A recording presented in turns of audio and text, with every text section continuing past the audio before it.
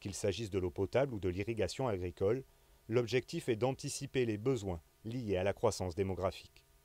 Permettre d'irriguer la vigne, c'est faire entrer la viticulture régionale dans une nouvelle ère. C'est lui donner les moyens de ses ambitions, notamment pour l'exportation. Pour un coût total de 330 millions d'euros, l'ensemble du programme sera finalisé d'ici 2020.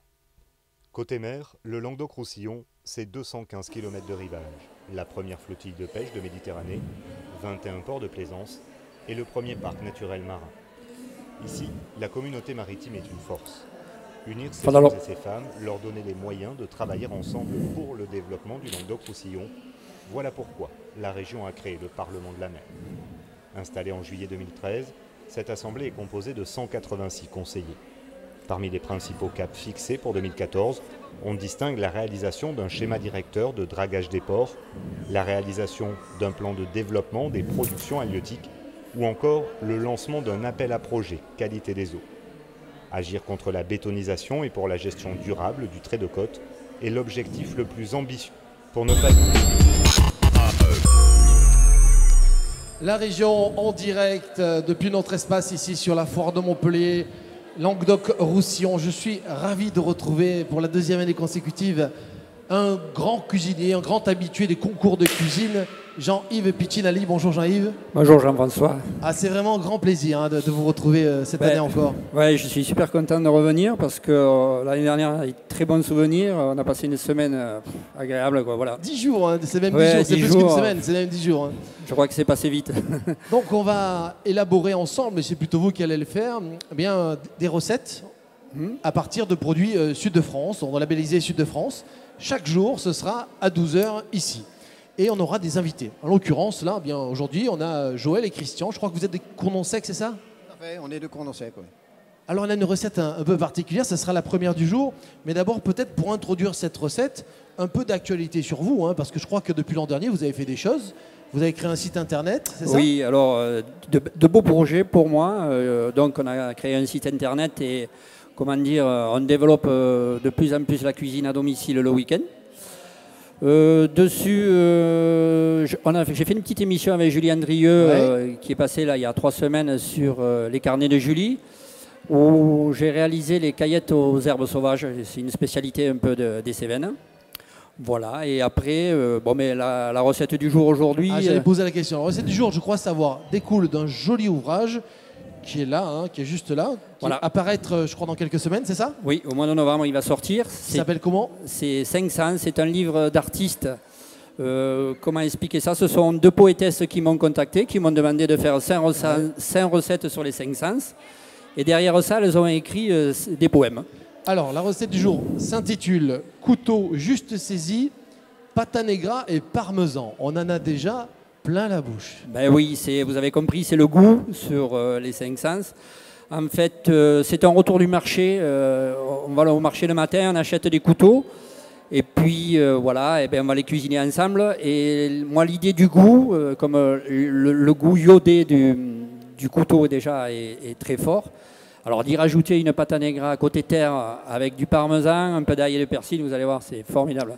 Eh bien, ça va être formidable, on va se régaler. Je vais vous laisser à votre petit fourneau, si j'ose dire, votre petite plaque de cuisson, Voilà. avec Joël et Christian.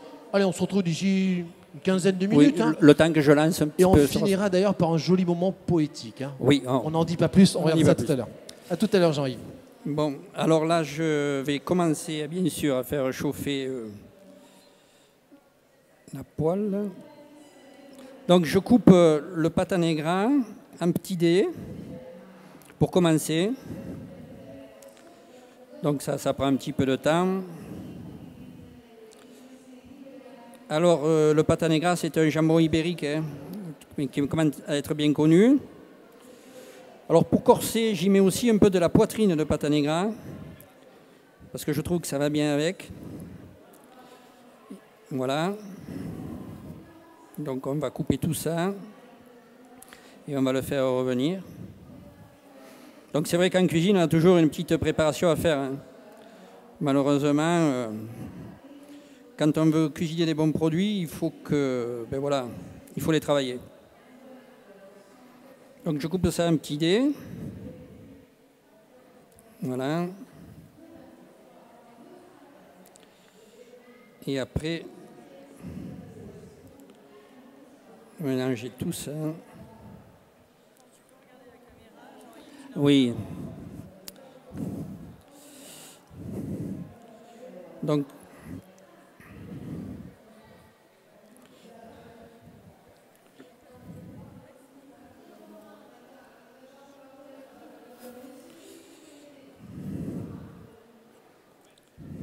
Voilà, ça arrive. hein, Il faut deux, trois coups de couteau supplémentaires. Voilà.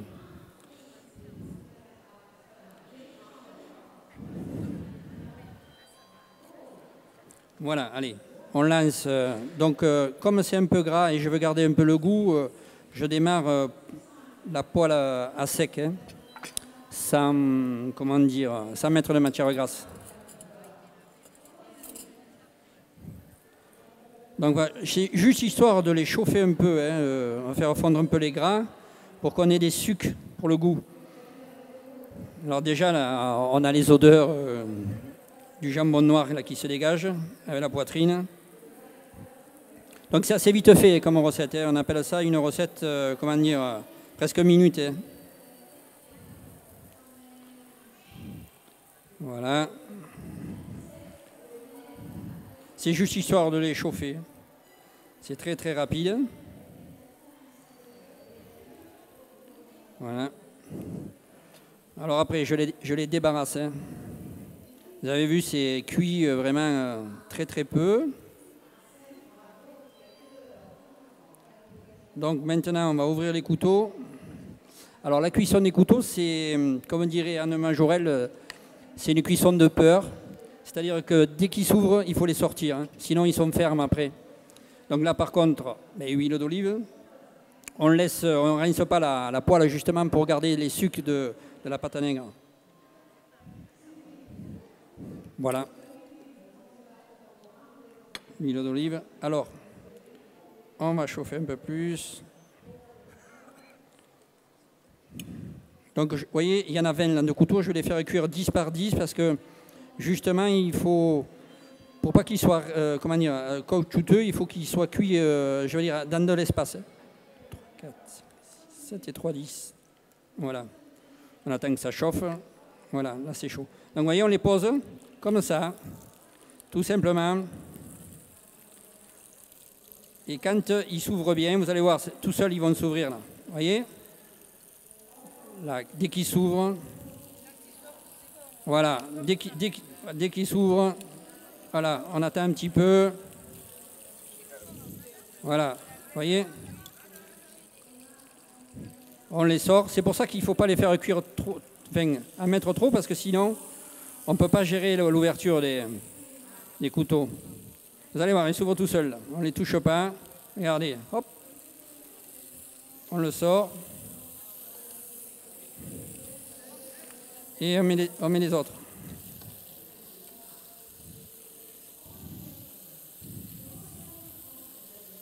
Vous voyez, on voit ils sont bien vivants. Ils s'ouvrent, on l'enlève.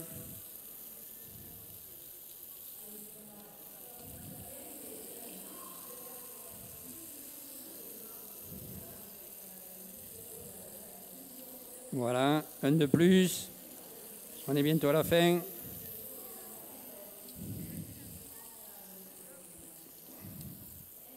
Voilà, donc on appelle ça la cuisson cuit de peur.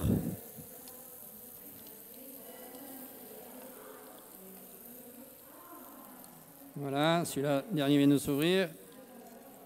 Ah. Voilà. Comme ça.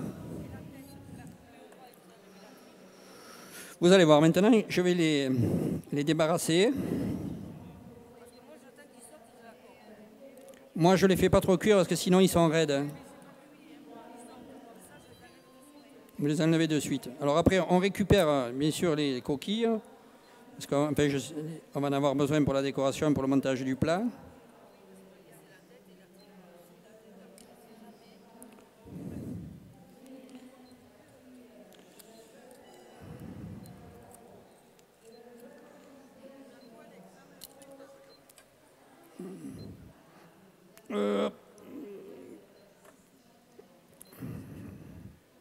Voilà, un petit incident technique, pas mettre le feu à la maison.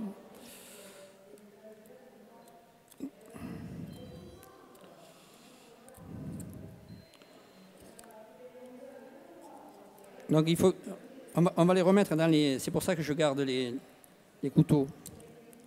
On va les remettre dedans après.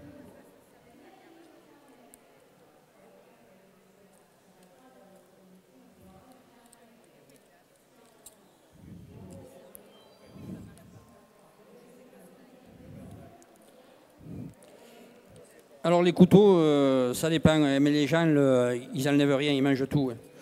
Ouais. Bon, moi j'enlève un petit peu la tripe, euh, oui, je l'enlève un peu. Des fois, pas toujours, mais bon, moi je l'enlève quand même. Hein. Mais bon, euh, moi j'en ai mangé souvent dans des restaurants où ils laissent tout. C'est le charme du couteau.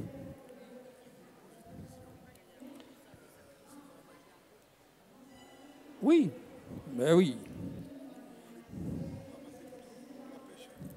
Eh oui, c'est vrai qu'il y, en a, qui pêchent à la dorade avec euh, les couteaux, donc euh, ils mettent un hameçon à l'intérieur. Et les dorades, avec euh, leur bec, on va dire, un peu costaud, là, elles aiment bien casser comment dire, le couteau et manger la bébête.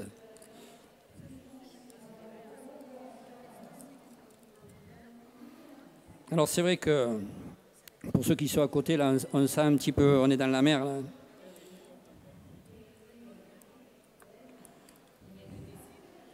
Euh, pas en ce moment.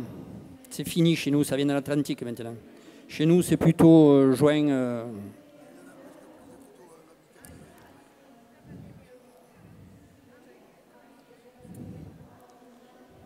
Bon, il y a toujours un peu de manutention, mais bon.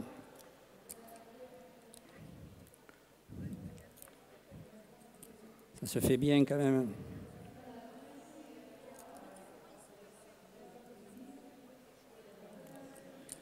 Les derniers.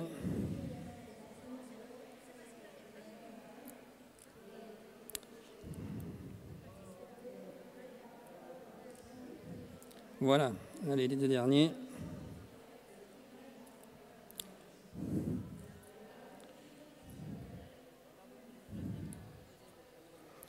Oh, ça revient un peu maintenant là. Donc vous voyez, une petite tripe là hein, que je lève et je coupe la pointe de la tête. Voilà. Bon.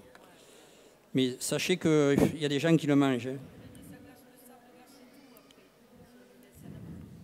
Ça dépend, oui, c'est vrai, quand il y en a. Mais le goût est là quand même un peu. Hein.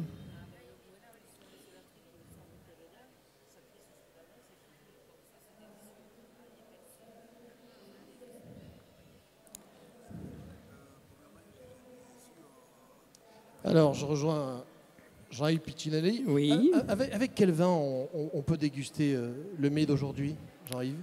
Oh, ben Aujourd'hui, comme on a une, terre et mer, un rosé peut aller très bien dessus. Sinon, un vin blanc sec. Voilà. Pas moelleux surtout. Des vins de France, évidemment. Alors ici, on a le choix, oui. Une dégustation qu'on va faire ensemble ici, depuis le stand de la région en direct, depuis la foire de Montpellier, Languedoc-Roussillon, puisque on a nos invités, mais on en a d'autres tout autour de nous euh, qui vont pouvoir euh, déguster cette jolie préparation. On rappelle euh, le titre de cette recette sud de France aujourd'hui. Couteau juste saisi, pâte negra et parmesan. C'est assez original. C'est une recette que je ne connaissais pas. Ça, ça vous intéresse? Vous connaissiez cette recette, madame? Comment? Vous connaissiez cette recette? Non, c'est un parmesan. Moi, j'en mange souvent, mais je ne mets pas de parmesan. Je mets ail et persil.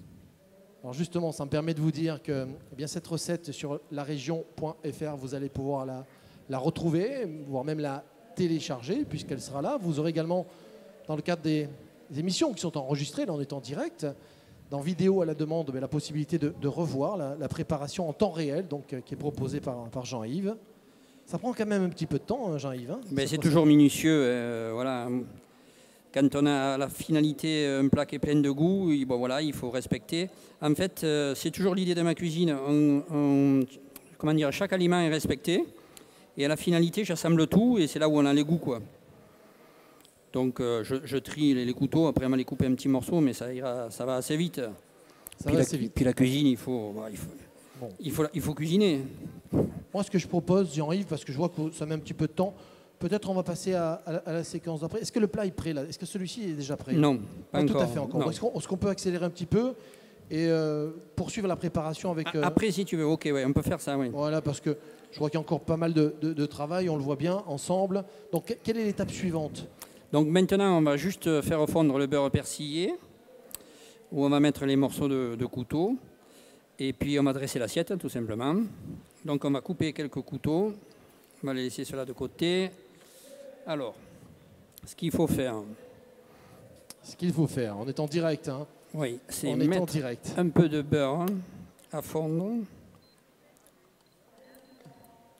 Donc on a un beurre persillé. Alors le beurre persillé, je l'ai fait un peu en avance parce que vous avez vu déjà la recette, c'est long.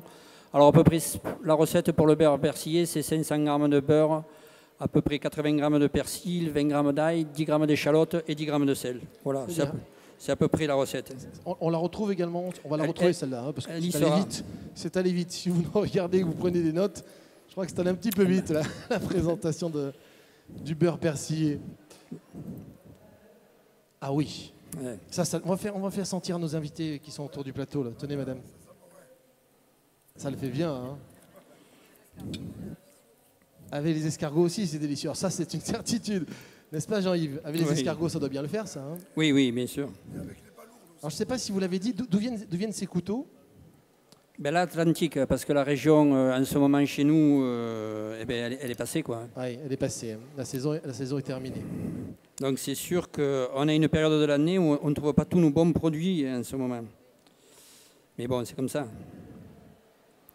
Donc après, les couteaux, je les coupe en, en tout petits morceaux, comme ça. Des petits dés de couteaux. L'idée, oui, c'est pour la présentation. Et donc, euh, vous allez les faire revenir. C'est ça? Non, non, bah, ça y est, ils sont cuits là. hein. Ah, ils sont cuits là. Ils ont- oui, directement, on fait uniquement la préparation de la sauce, c'est ça? Uniquement la préparation de la sauce. là. D'accord. On fait chauffer le beurre persillé. On va prendre les quatre petits couteaux, euh, puisqu'on va dresser l'assiette. Donc en fait, euh, on va mettre les petits couteaux à l'intérieur. Si on, do- si on doit résumer euh, le temps de préparation de, de cette recette, c'est quoi? C'est 30 minutes en tout? À peu près, oui, 30 minutes. Ce qui est long, c'est de trier euh, les couteaux, hein, parce que la cuisson, vous avez vu, c'est assez vite fait. euh. Et là, ce que vous faites là, donc c'est pour combien de personnes? Bah, ça, on va dire, c'est pour une personne. Là, en tout, il y en aurait, c'est une, une petite mise en bouche, mais si on en met à peu près 6 par personne, donc il y avait un couteau, euh, c'était pour 4 personnes. Quoi. D'accord. Donc on après, on sait qu'on ne connaît pas les couteaux. hein. C'est la première fois, hein, je crois. hein. Ouais. On en trouve sur Palavas. Ah, ben voilà, on a un pêcheur avec nous. Tiens, on a un pêcheur en, en- en mer avec nous qui nous dit qu'on en trouve euh, au fond de la mer de Palavas. C'est très joli. Heureusement d'ailleurs que c'est au fond et pas en surface, les couteaux. hein. Non, je plaisante. Évidemment. Alors, on en est où, Jean-Yves? Bon, mais là, on a- on a- maintenant, on va, comment dire, mettre un petit peu de... Donc là, on a, on a, On Ah le on beurre persillé avec le pâte à. Donc tout simplement, dessus, on nappe pâte à negra, on mélange avec euh, le couteau. Ça sent très, très bon. Oui, là, Ça on a- on a- sent très, très bon. hein. Le couteau, c'est incroyable. hein. Vous êtes de la région, madame Castelnau-le-Lez. Vous préparez euh, généralement les couteaux Semaine, jamais jeudi. Toutes les semaines, vous, vous mangez 10 couteaux. C'est très bon. Eh bien, un, un emploi de thé, ça doit être bon également pour la santé. hein. Les couteaux frais, c'est un petit peu comme les huîtres. genre, Il y a les couteaux frais. Ah C'est oui. des couteaux, lorsqu'on les achète, ils, ils sont encore vivants. Et c'est à partir de ce moment-là. Et c'est pas très cher. Donc, c'est une recette euh, chez vous, facile à réaliser. On le voit avec, euh, avec Jean-Yves. Et qui n'est donc pas très onéreuse, semble-t-il. Alors, maintenant, on va passer au dressage de l'assiette. Donc on a, on dresse voyez, le petit plateau. Moi, je- ça, je le fais souvent, euh, comme j'aime bien cuisiner, moi, mettre boule- plusieurs choses à la table. Je fais souvent ça un petit peu en mise en bouche. Voilà. Et il Donc, connaît bien. on- hein. Je vous rappelle que vous êtes en direct euh, ici euh, depuis la région sur la foire de Montpellier, Languedoc au Roussillon, que Jean Piccinelli pour la deuxième année consécutive ici dans cet atelier de dégustation, euh, l'élaboration de cette recette Sud de France, qu'il est un habitué des concours culinaires et que vous avez vu certainement le, son visage vous dit quelque chose parce que c'est lui qui a gagné euh, il y a quelques temps, quelques années, un dîner presque parfait. hein. C'était il y a combien de temps un dîner presque parfait? 2009, 2008 et 2009, puisque j'ai fait deux émissions avec eux. Et il n'a pas fait que ça, hein, puisque je crois savoir que vous avez également remporté euh, un autre concours qui s'intitule Tétinger des cordons bleus. Oui. C'est ça? C'était juste après? Euh, Dès 2000 2010. 2010, oui. 2010, je suis bien renseigné. Et oui, c'est vrai que les, les concours, euh, moi maintenant ça m'a passé, je, je me consacre à, je vais dire, à, à l'atelier des épicuriens. Donc vous voyez, on met les petits couteaux comme ça. Alors j'ai, mis, le- j'ai, j'ai parsemé de, de parmesan bien entendu. On le met comme ça dessus. Voilà, et après hein, ce qu'on va faire, on va mettre, euh, je pense, euh, on a des petites fleurs de mon jardin. Des petites fleurs naturelles. Les petites bourraches. Alors, la bourrache a la faculté d'avoir un goût d'huître quand on la mange entière. Donc, les gens qui voudront la goûter, ils la prendront. Alors, il existe des bourraches euh, bleues et des bourraches blanches. Ce sont donc des fleurs comestibles. Comestibles, oui. Regardez-moi si c'est joli. Voilà. On va mettre. Ça sent bon, ça doit être délicieux et c'est très joli en présentation. Allez, on va mettre la bourrache blanche au milieu. On va la mettre puisqu'on parle de vous, hein, c'est la première émission. on va- Allez, on fait un petit focus sur vous. Vous faites ça également à domicile, je crois savoir. Oui, alors voilà, après les gens m'appellent et je fais des repas à domicile. Ça leur permet un petit peu de, De mieux s'occuper de leurs invités. Exactement, et puis de ne pas prendre la route. euh, Mais je pense que, je trouve, avec la chaleur, le, le vinaigre balsamique ne me plaît pas.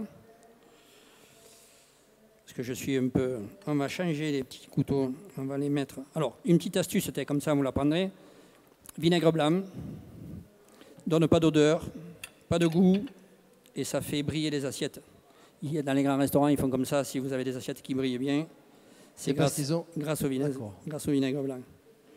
au vinaigre blanc. Tiens, ça, c'est une astuce qu'on ne connaissait pas forcément d'ailleurs. Comme ça, on, on saura. Voilà. Au vinaigre blanc, on fait briller les assiettes et les plats de présentation. Comme ça, on va pouvoir remettre dessus parce qu'il il fait trop chaud pour le vinaigre balsamique. D'accord. Donc en direct, la présentation du vinaigre balsamique disparaît. On fait une présentation uniquement des couteaux avec le parmesan. hein. C'est ça? Exactement, oui. Ça sera plus épuré, comme on dit, plus joli. Ok, on va juste prendre un petit support, je ne sais pas lequel. Pourquoi pas ceci d'ailleurs Tiens, c'est pour montrer à la caméra. Juste ici comme ça, on va enlever celui-ci de plateau. Voilà, parce que j'imagine qu'à l'image, ça doit être très très joli. On va le centrer ici. Voilà. Alors, le plat, est-ce que le plat est prêt, Jean-Yves? Le plat est servi comme ça. Alors après, vous prenez les couteaux et Ok, On fait va le faire, on va le faire dans un instant. Dans Je un crois instant. que vous souhaitiez terminer par une poésie. alors oui. Alors en sachant, Sachant que c'est là-dessous. en sachant, oui, que c'est là-dessous. oui. En fait, euh, cette recette a été créée euh, pour ce recueil, les cinq sens. Et du coup, les poétesses euh, ont écrit, bien entendu, un petit poème que je vais vous lire sur les cinq sens. Donc, on va dire merci à Guylaine Cuvelier qui l'a écrit. Alors, c'est maintenant que vous avez vu la recette, hein, vous allez plus com- mieux comprendre le poème. Alors, le couteau savamment éventré, l'iode est ferme sous la dent, s'allie avec la pâte noire du jambon précieusement en rance, celle de terre, celle de mer se mêlent en détonnant petit vaisseau de fortune que l'on porte aux lèvres pour s'embarquer sans quitter terre. Très joli. hein. Très On joli, peut oui. applaudir hein, si vous le souhaitez. Voilà. C'est très très très joli. hein. C'est un ouvrage donc à sortir, apparaître pardon, dans quelques semaines. Donc on est dans la phase où le plat est terminé. On va se retrouver donc tous les jours euh, à 12h, 12 ici heures. même. Demain, demain, quelle sera la recette Tiens, Est-ce qu'on on sait ça déjà? Demain, je crois qu'on va faire un cappuccino Sevenol qui sera Ouais. fait à base de pélardon.